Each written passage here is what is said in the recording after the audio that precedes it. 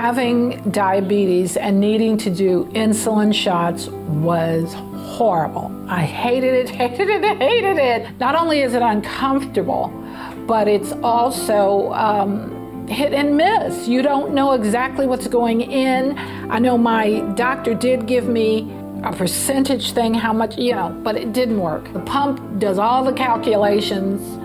The MiniMed pump uh, is is allowing me to be free and not have to sit around with a com- little computer or a little calculator and calculate everything that goes in my mouth. The MiniMed pump has helped my A1C get down to normal. I mean, it used to be up to, to ridiculous figures like 11, 12 you know, now it's like 6.5. It's really nice. Before the pump, there was no control. Before the pump, everything was hit and miss. And most of the time, miss because you didn't know exactly what was going into your body, into your mouth. I have my little carbohydrate counter in my purse at all times, so I have complete control now with the MiniMed pump. I'm type 2 diabetic, and uh, the pump is for everybody.